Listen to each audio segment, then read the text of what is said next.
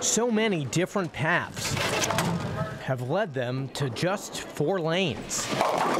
And frame after frame, they share the same aim.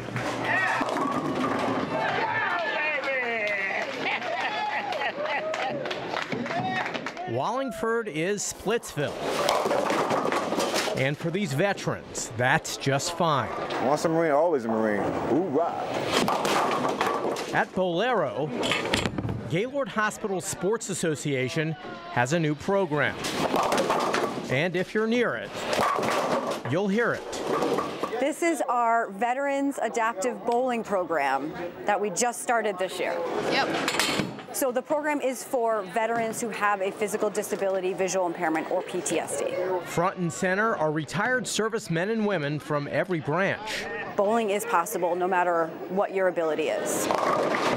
We have a grant with Southern Connecticut State University through the VA Adaptive Sports Grant, um, and we're partnering with the VA West Haven. For 15 veterans here in Wallingford, it's a chance to knock everything down, but also raise each other up.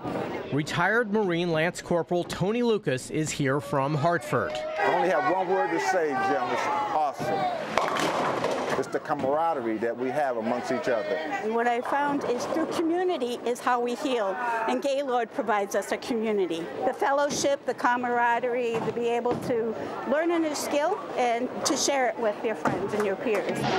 And apparently the expression, slow your roll, isn't applicable here. The best part is being out here with my fellow veterans. This is a way we can give back, and it's a way we can give back to our veterans who have already given so much to us. In Wallingford,